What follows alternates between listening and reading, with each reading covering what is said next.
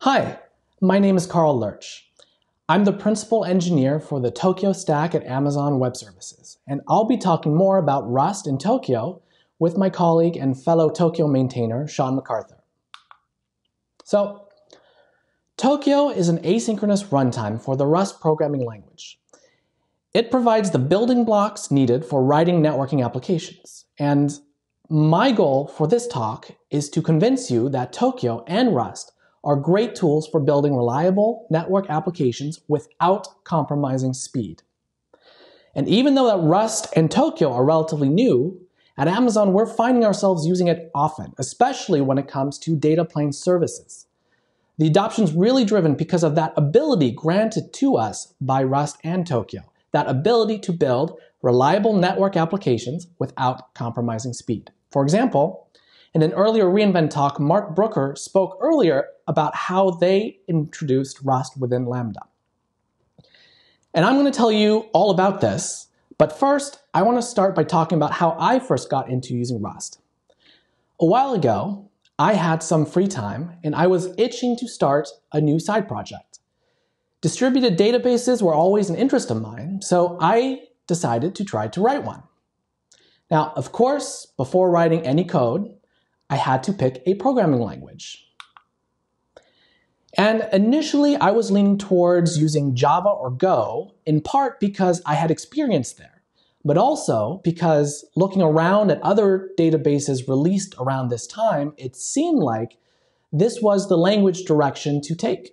Now, this is interesting because at first glance, picking a language with a garbage collector for a database might be a little counterintuitive. Databases process data, a lot of it, which in turn creates garbage. So every so often, the garbage collector needs to pause execution and do its garbage collection. And this results in unreliable tail latencies, which then cascade back to the application. So why not use C or C++? This is what older projects such as Postgres and MySQL use, and they have done so successfully. And it's true, C and C++ do not come with garbage collectors. Instead, they put the responsibility of managing memory on the programmer. So the programmer is responsible for allocating memory and freeing memory. The programmer is also responsible for ensuring that pointers are still valid before dereferencing them. And none of us are perfect, Sometimes we write bugs. There will be times that we get that memory management wrong. And when we do get it wrong, the program can forcibly terminate with a segv. And I've debugged a few of these, and they're no fun, especially when they happen in production.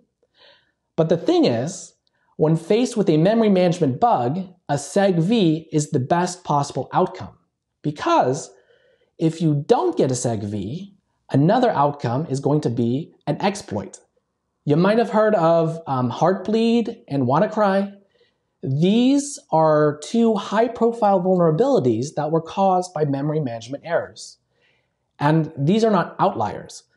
Large C and C++ based projects such as Chrome and Firefox have they've done some analysis on their bug histories and they have found that on average 70% of all of their high severity bugs were caused by mismanaging memory. So, in short, historically, when picking programming languages, there's been this trade off between safety and performance. Now, in this context, picking a language with a runtime for a database might make more sense. So, safety really needs to be a top consideration especially in a multi-tenant situation. So while it's possible to write correct and safe code with C and C++, it takes more knowledge and effort. One has to invest in additional work to ensure correctness. So things like audits, static analysis, fuzz testing, formal verification, or other strategies. So to get things done faster, it's nice to be able to use a language that has the safety aspect built in, even if this comes at an additional cost, like some runtime performance. So, given all that, back when I was going to pick a language for my hobby database, I was leaning towards Java. However, I was talking about it with a friend and he said, hey, why don't you check out Rust? It's this interesting language that Mozilla is working on. So I did check out Rust and it really got me excited. Rust sells itself as a systems level programming language, similar to C or C++. It does not have a runtime or a garbage collector, just like C and C++. However, unlike C and C++, it guarantees memory safety. So all those security vulnerabilities that I mentioned earlier, they can be prevented with Rust. And, and remember I said Rust comes, again, without a runtime or garbage collector. Instead, Rust proves memory safety at compile time. So you write your program, you compile it, and if there are memory issues, compilation fails. If compilation succeeds, you can trust that there will not be memory management errors or any other sort of undefined behavior. And this is really powerful because that trade-off that I mentioned earlier, that trade-off between safety and performance, it goes away. Now you can have both safety and performance. And this is huge. It's, it's a fundamental shift. So Rust implements compile time memory safety verification using a concept called data ownership. In Rust, data can only have one owner, and the owner of that data is a variable or a struct field. So when that variable goes out of scope, the data becomes unreachable and it's freed. The key here is really one owner. With that requirement, the Rust compiler is able to statically track the lifetime of data as it flows through the program. So let's work on a quick example. Here's a short snippet. So we create a string and we assign it to foo. That string is owned by foo. When foo is passed into the take ownership function, foo no longer owns the string. So ownership is passed into the function. If we were to try to use foo again after that first call to take ownership, the program would fail to compile. So look in the take ownership function. That variable s now owns the string. And no, nowhere in the function do we explicitly free the string. When the function returns, s goes out of scope. And because s is the owner of the string, the Rust compiler knows that that string can no longer be referenced, and it automatically releases any associated resources. And in this case, the memory is freed. So using Rust, the programmer has full control over memory management. So the, program, the programmer can allocate memory on the heap or the stack. But the programmer does not have to remember to free memory. This is done automatically and prevents that whole category of bugs. So back to my attempt to write that distributed database. I'm still at the point of trying to pick the language, and I got the recommendation to use Rust. And after learning about that promise of writing code with a reliable code without compromising on performance, I was sold. And I was going to write my database in Rust. So there was a problem. It was a while ago before Rust was even at 1.0, and there was no ecosystem around it. And I wanted to work on networking services. So at that time, Rust only offered basic blocking TCP socket APIs. So I decided to Yakshave. I would start by writing a networking stack. Now, six years after that, I still haven't gotten out of the Yakshave and back to the distributed database, but we do have a mature networking stack for Rust. You know, we released Tokio 1.0. It's reliable and stable. So here is a basic Hello World example written with Tokio. Even if you don't have any experience with Rust, it should be readable. We listen for inbound TCP connections. The loop processes these incoming connections, and for each connection, a new task is spawned. And we write hello world back to the socket. And here, when I, I say task, it's kind of like an asynchronous green thread. It's similar in purpose to concepts like Go routines or Erlang processes, if you're familiar with those. So tasks allow running concurrent logic. They also have very little overhead. So an application can spawn tens or hundreds of thousands of tasks. And there's something else I want to call out here. So notice that socket variable returned by accept. That represents an open TCP connection. It's moved into the task. We try, if we try to use it after it's moved into the task, the code would fail to compile. Also, we never explicitly close the socket. The socket goes out of scope at the end of the spawn task after write all completes, and the owner goes out of scope. So Rust automatically releases that resource. For the socket type, that means closing the socket. So the implication here is we can't accidentally forget to close sockets, again, preventing a whole category of bugs. So out of the box, Tokio provides everything needed for writing reliable networking applications. And it has everything you might expect from this library, so I'm not going to dig into detail. Um, all of this is covered in the documentation on the website. The URL will be provided at the end. Instead, I'm going to dig into what makes Tokio and asynchronous Rust unique. So, at the foundation of asynchronous Rust are the async and await keywords. And these aren't new concepts in of themselves, but the way that Rust implements them is unique. So here's a bit of async code. It reads in a way that looks synchronous. Each line completes execution before continuing on to the next. Yet, it, it never blocks the operating system thread. So every operation that may need to wait for an external event is annotated as an async function. In this case, the call to sleep needs to wait for 10 milliseconds to elapse.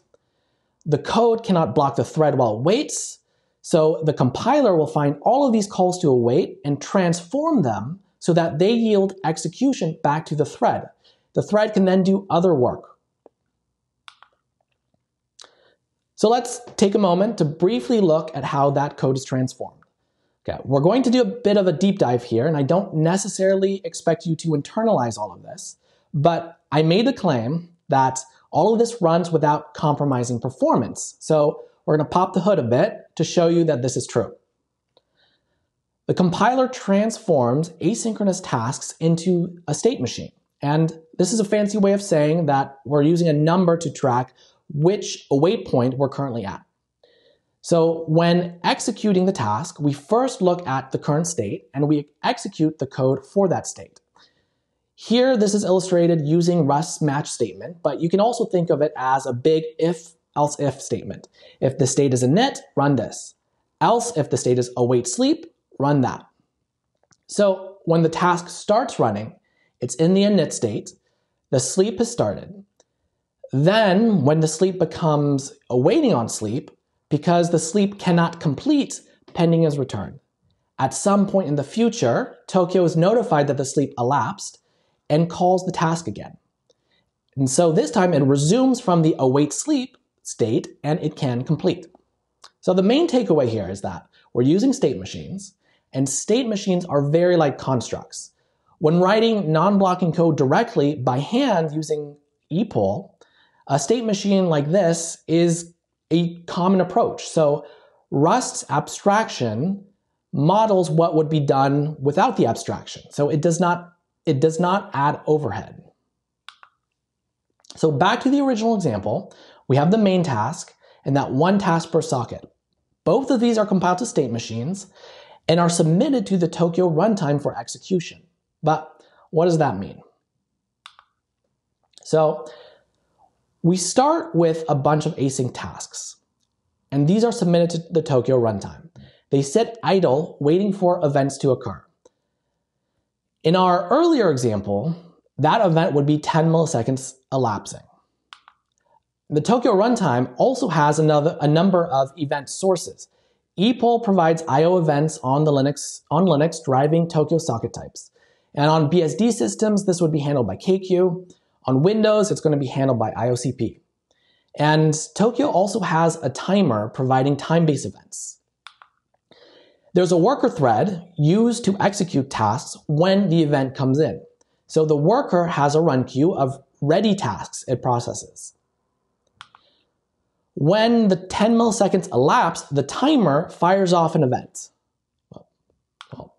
And Tokio finds the associated task and pushes it on the worker's run queue. So the worker pops the task, it's going to call poll function, and this is the function that executes when the state machine. Yeah, so it executes the state machine.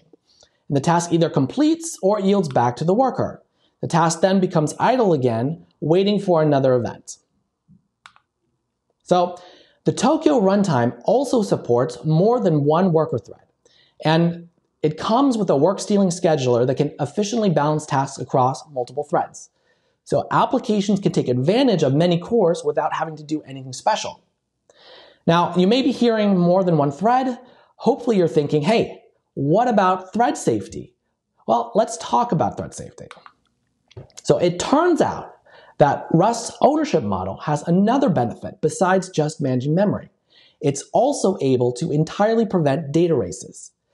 A data race happens when a thread is reading data and another thread unexpected, unexpectedly concurrently mutates that same data.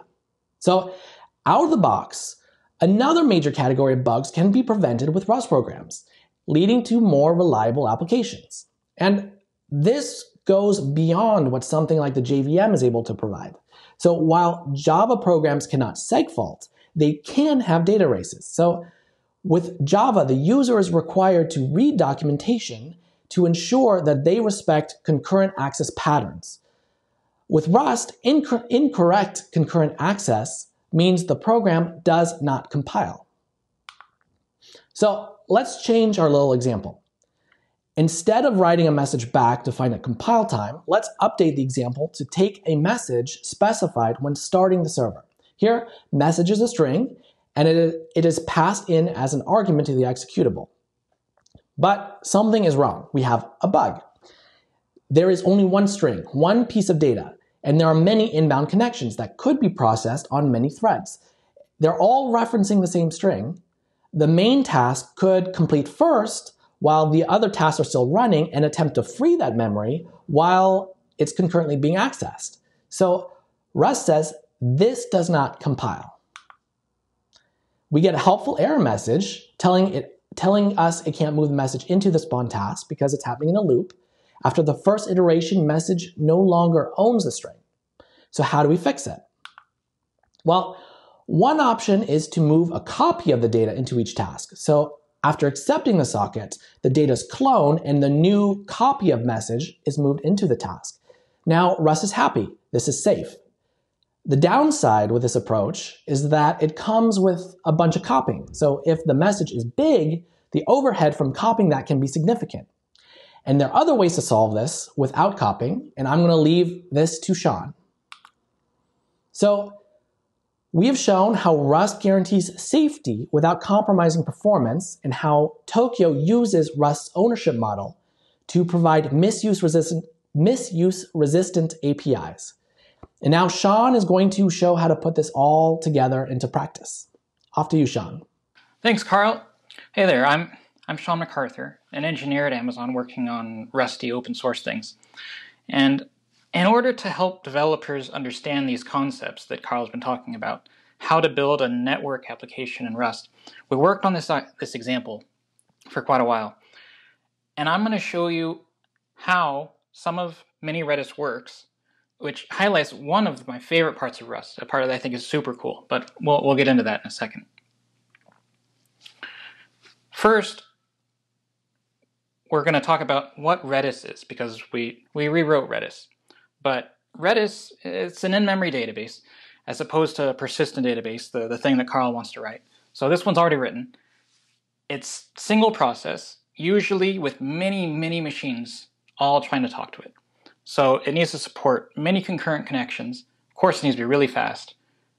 And it's written in C. For our example, we thought, let's rewrite Redis. We called it mini Redis. And we rewrote it in Rust using Tokio. It's mini Redis because it, it, it, only implements a subset of Redis. So we'll only be looking at get and set. Uh, you see subscribe and publish. Those are in the full example if you want to go and take a look at those. And it's also worth repeating this is for educational purposes. We didn't write an actual replacement for Redis. This is just for learning. So the first thing that we have to do to make the entry point to the application is it's very similar to the hello world and all the other examples that Carl was showing earlier. You know, we accept connections, spawn tasks. It looks very similar. I just highlighted the differences here. The interesting parts that we want to focus on for our example. And that is that there's a database, the in-memory database part, and then there's, with each connection, we apply commands to the database. So first, let's, let's peel open that database type, the DB type you see there. To start, we figure it's going to be in memory, so it's just a hash map, which is super simple. It's got string keys, and then for values, just a buffer of bytes. But if you remember what Carl was mentioning about ownership, well, we want to share this across threads, across tasks, which could go across multiple threads. And Rust ownership doesn't allow you to. You'd have to make a complete copy. So we don't want to do that. We, we want to use the same database across all of the tasks. So we got to add something here. What we do is we wrap the hash map inside an arc. This is a reference counted smart pointer, and it handles all the bookkeeping for you. Uh, as you make a clone, increases the number. As the clone goes away, decreases the number. When there's no more outstanding counts, the whole thing gets uh, cleaned up. So this allows you to make really cheap clones into all the tasks. However, now that we've added an arc, type system doesn't allow us to mutate the hash map because you have multiple references. You wouldn't want to have all of them trying to mutate at the same time. You'd have data races or undefined behavior. So we have to add something else in between there. We add in a mutex so that we can access the hash map concurrently. All the different tasks, all trying to mutate at the same time. We need a mutex to control this. And this is the, the, the, favorite part of Rust that I was wanting to talk about. It's, it's super cool. So we're going to take a second here and explain how a mutex even works in the first place. The standard mutex, the one that exists in the standard library, it encodes the state of locking the mutex into the type system itself. So, as we've been talking about with Rust and its type system, using the type system to ensure safety. And how this works is the lock, it protects the data inside of it. It doesn't protect uh, a section of code, but actually instead, you can't touch the data inside of it until you take a lock. The lock returns a new type, which is another kind of smart pointer, and that, once you have it, you've only been able to get it because you've locked the actual mutex. You can then mutate it and know that no one else is touching it at the same time. And then when that new type goes away, its destructor cleans up it, it you're no longer borrowing the value, and the mutex itself is unlocked. You don't have to worry about, oh, did I did I remember to unlock it or not? You can't mess it up. The compiler catches it for you. That's what's so awesome. You no longer, no longer have to go and check, did I remember to lock it before I mutated this data? Did I remember to unlock it? No. Type system, make sure it's done for you. So back to the DB. This is the full type again. So it's a reference counted hash map protected by a mutex. Right? Now let's take a look at the second part I mentioned, which was to apply Redis commands to the DB. So the first thing we want to look at is, is you, the get command. We parse the get command and it says, hey, get me the value for this key. No problem. We've got the key right there. You'll notice the first thing we do is lock the DB, and it returns the locked guard that we were mentioning before. Again, this acquired an exclusive lock. So once we've locked it, no one else can peek in and see the value. No one else can mutate it or anything. Now we can just look in the hash map for the key. If it's found, we'll return a bulk frame to the client. If it's not found, we return a null. That's just how Redis works. Either way, when this function ends, the lock type goes out of scope, its destructor runs, the mutex is unlocked automatically. Again, we didn't have to think about it. It's just done. How do we do the other side? Well, once we've parsed a set command, which includes the, the key, but then also a bucket of bytes to store somewhere in the, in the database, it's actually pretty straightforward. Again, just like get, we locked the database. We now have exclusive access, so no one else has any is able to peek inside. No one else is mutating it. We've got exclusive access, and we just insert into the database. Now, if the value doesn't exist, well, hey, then we just put it into the hash map, and it's there. Nothing, nothing special about that. If the value did exist, the hash map replaces the value and then takes the old bucket of bytes that was there and drops it. The bytes destructor says, oh, I'm done, cleans the memory immediately. It's not kept around for an eventual G sweep. The cost is done right then and there. So that makes it really consistent. And this really, really helps to keep the tail latencies down. You don't have an all of a sudden, oh, stop everything, let's go clean up all the bytes that we no longer need. No, each request pays the tiny little cost that exists and makes it all consistent. After the insert, we just return OK, and just like in the get example, the lock is released automatically once this function ends. We didn't have to think about it. And, and that's really it. We now have a working mini Redis. I mean, sure, I, I skipped encoding and decoding frames, but I mean, that's pretty straightforward, slightly boring. It's not worth a slide. And beyond that, we have a working server. And with it being so easy, how do you think our performance looks? We took a look. We ran Redis Benchmark, the, the tool that comes along with Redis, on a real Redis server and on mini Redis. And yeah, they, they perform the same. You don't have to look at it super closely. They're pretty much exactly the same there. Now, of course, there are some caveats. Uh, the benchmarking tool with the default options don't stress it out to the max. Um, you might, if you do that, eventually run into, hey, the mutex might not scale as well. Don't worry. The actual tutorial that I'm going to link to later uh, has a section about how things you could do to try and make that scale if it were to be a problem. But, I mean, th think about this here. We made a concurrent server program. It's multi-threaded using Tokio's uh, thread stealing, uh, multi-threaded work stealing runtime.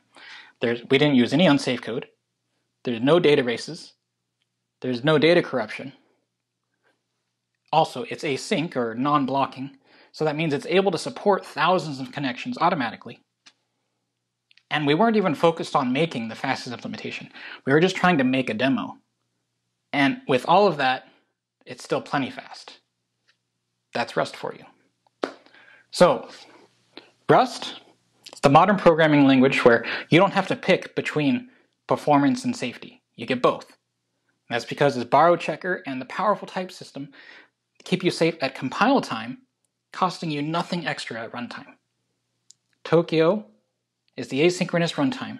It's in Rust. It's what you reach for when you need to make reliable, scalable network applications. So what can you do next? Go check out tokio.rs. I have here on the slide the, the link to the actual website. There's a tutorial to get you started. There's the full mini Redis example. It has tons of comments and actually a bunch of extra stuff that I didn't have time to show you in the slides. And there's more resources for learning, uh, depending on the style that you like to learn in. You do all that, and that'll get you started building reliable network applications without compromising speed. I thank you very much.